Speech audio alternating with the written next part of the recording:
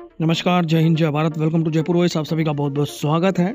दोस्तों, जीवन सिंह शेरपुर, जो कि काफ़ी दिनों से 8 जनवरी भोपाल जन आंदोलन के लिए तैयारियाँ कर रहे हैं, इक्कीस सूत्रीय मांगों को लेकर उनका ये आंदोलन है। और अब कहा यह जा रहा है कि इस आंदोलन को सरकार द्वारा रोकने की कोशिश की जा रही है।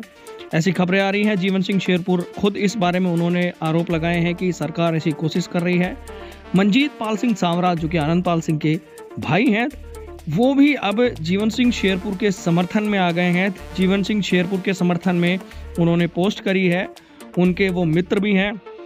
मंजीत पाल सिंह सामराज ने उनके साथ जो अपनी फ़ोटोज है वो शेयर करते हुए सोशल मीडिया पर एक पोस्ट किया है, जिसमें उन्होंने लिखा है, लोगों ने बार बार कोशिश की मिट्टी में दबाने की। उन्हें नहीं मालूम कि मैं बीज हूँ। आदत है मेरी बार बार उग जाने की। यानी कि उन्होंने जीवन सिंह शेरपुर के बारे में ये कहा है।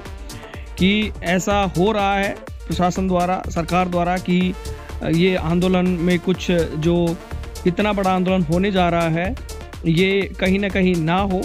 ऐसी बार बार जीवन सिंह शेरपुर भी बातें कह रहे हैं।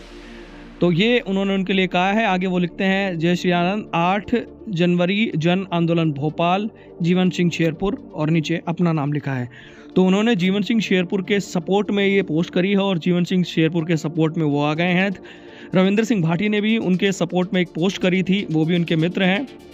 और इस आंदोलन को लगातार युवाओं का समर्थन मिल रहा है। जहाँ जहाँ जो जा रहे हैं जीवन सिंह शेरपुर जो कहीं ना कहीं युवाओं का जोश देखने को मिल रहा है, युवाओं का हुजूम जो उमड़ रहा है उनके समर्थन में, सरकार के लिए मुश्किलें खड़ी हो सकती हैं। अगर जैसी उनकी पिछली रैलियाँ रही हैं लाखों लाखों की, इस बार भी अगर ऐसा होता है तो कहीं ना कहीं सरकार के लिए मुश्किल खड़ी हो सकती है, क्योंकि इसी वर्ष चुनाव हैं, वर्ष के अंत में, और कहीं ना कहीं ये रैली प्रभाव डाल सकती है बहुत बड़ा, अगर मांगे नहीं मानी जाती हैं।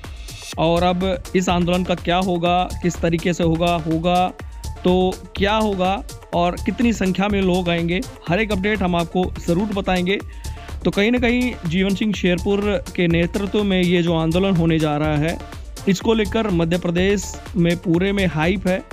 और पाँच जनवरी को भी जो कई संगठन हैं, मुख्यमंत्री से लेकर जो बातचीत को जो बात आई थी, उसमें क्या फैसला होता है, क्या निकल कर आता है तो दोनों जगह ही सबकी निगाहें हैं। क्या होता है इसमें? क्या अपडेट निकल कर आती है? क्या खबर आती है? हम आपको बताते रहेंगे चैनल के साथ जुड़े रहें। जय हिंद, जय भारत, वंदे मातरम।